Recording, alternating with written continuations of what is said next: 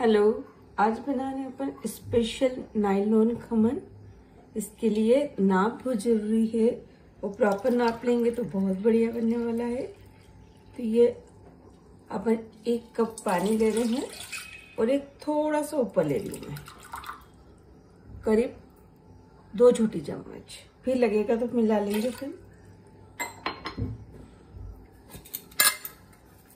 इसमें तीन चम्मच शक्कर गला रहे हैं अपन।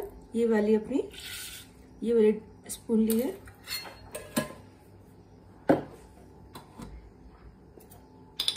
और ये अपनी छोटी चम्मच, नींबू के फूल, टाटरी, जो भी बोलते हो, वो इसमें मिक्स कर रहे हैं।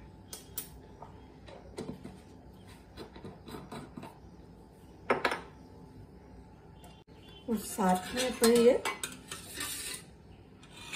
एक स्पून भर के तेल डाल रहे हैं। तेल की स्पून थोड़ी सी बड़ी है।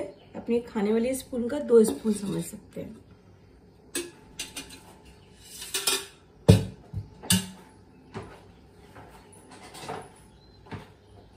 अब अपन इसको विस्कर से अच्छे से फेटेंगे। जब तक शक्कर और नींबू के फूल टाटरी अच्छे से मिक्स नहीं हो जाता। इसको मैं फेंटती हूँ।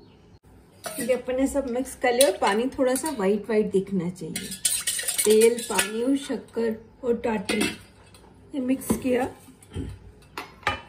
और जिस कप से पानी लिया था ना, उसी कप से अपन दो कप बेसन लेंगे। ये एक। बहुत दबा के नहीं लेना है, हल्के से बिल्कुल ऐसे फ्लैट करके लेना है। ये दो कप बेसन ले रहे हैं। इसमें हल्दी बिल्कुल नहीं डालना है।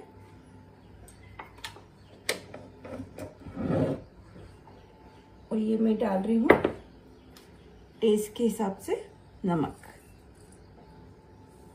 बहुत सिंपल रेसिपी है और बहुत इजी तरीके से बन जाएगा, ये बिल्कुल स्पंज आएगा। अब इसको अपन को अच्छे से फेंटना है। ये न तो ज़्यादा पतला होना चाहिए और न ज़्यादा गाढ़ा होना चाहिए। इसका रेशो अगर आपने सही लिया है तो बिल्कुल बढ़िया बनेगा। आप इसको चल्ली से बेसन डालने के पहले इसको चल्ली से छान भी सकते हैं, पर मैं विस्कर से मिला रही हूँ ना तो बिल्कुल अच्छे से मिक्स हो रहा है। एक भी गुटलियाँ नहीं बन रही है इसमें।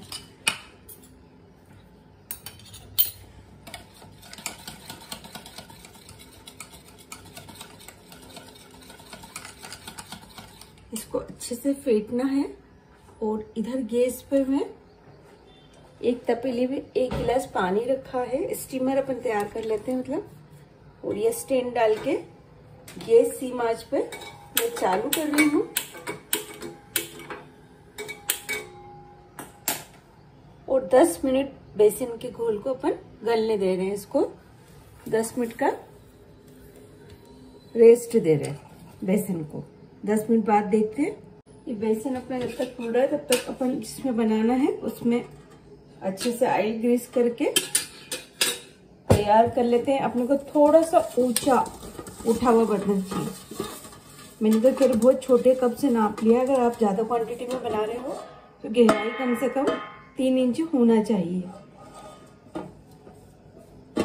ये तैयार कर लिया, उधर स्टीमर चढ़ा दिया है। अब आगे की प्रोसेस करते हैं अपन। अब ये मैं ले, खाने वाला सोडा ले रही हूँ। चौथा स्पून ये इसमें डाल रहे हैं और इसको अच्छे से फेंटते हैं दो मिनट। अच्छे से फेंटने के बाद में एकदम आपका ये फूलने लगेगा और बेटर ऐसा होना चाहिए, ये देखो। इस टाइप का। फेंट लिया और इसको मैं ट्रांसफ़र कर रही हूँ अपने, जिसमें बनाना है अपने को। और उधर स्टीमर की आँच भी तेज कर दी है। कि स्टीम अच्छे से तैयार हो जाए।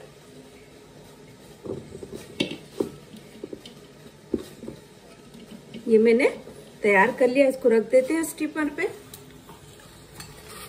ये पानी मेरा इसमें बॉईल हो रहा है। पानी ज़्यादा नहीं डाले, वरना ऊपर भर जाएगा।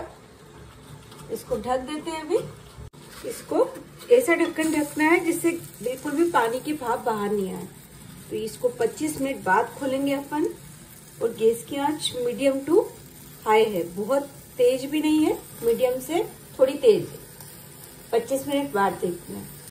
ये 25 मिनट हो गए हैं और इसको खोल के देखते हैं और ये चाकू लगा के देखते हैं। अपना चाकू बिल्कुल क्लीन निकल रहा है। मतलब ये हो गया है, अब गैस बंद कर रहे हैं और इसको बाहर निकल के 10 मिनट पूरा ठंडा होने देते हैं। ये अपना बिल्कुल ठंडा हो गया है। अब इसको अपन आसपास से ऐसे चक्कू घुमा के निकाल लेते हैं। एक दूसरी प्लेट में इसको शिफ्ट करते हैं अपन। ये देखो, कितने अच्छे से निकला। मैंने बहुत छोटा कप लिया था, बाकी इसका स्पंज देखो। एकदम बढ़िया, जालीदार। अब इसका अपन छोक तैयार करते हैं। इसको वापस में इसमें डाल रही हूँ। अब इसका पीसेस काटेंगे अपन पहले और फिर चोक करेंगे। गैस पे अपन ने तड़का पेन रखा है। और ये कढ़ाई रखी हैं मतलब एक थोड़ा सा अपन डाल रहे हैं इसमें तेल। ये मेरा बिल्कुल थोड़ा थोड़ा सा आ रहा है। और गैस की आँच करते हैं फूल। ये डाल रही हूँ मैं राई।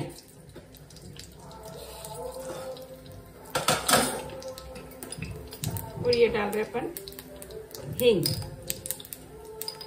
सिंपल रेसिपी से बना रहे हैं। मुझे फीका निकालना है, इसलिए मिर्च बाद में डालेंगे, ये करी पत्ता डाले, थोड़े से ही थे मेरे पास में।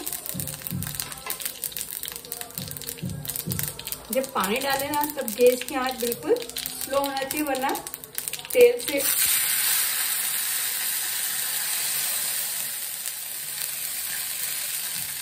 करीब एक कप इसमें मैंने पानी डाला है।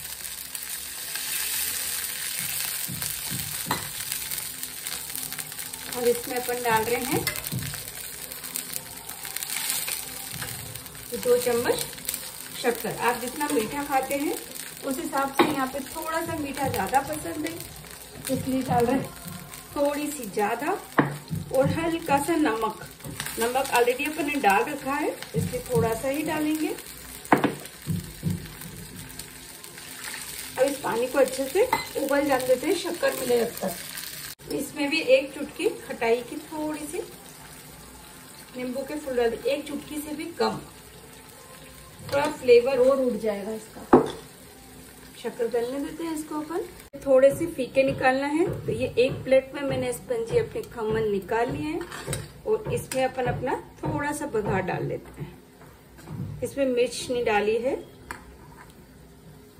अब जो मैंने तीन से चार हरी मिर्च ली है, वो इसमें काट के और इसको दो मिनट के लिए उबलने देते हैं।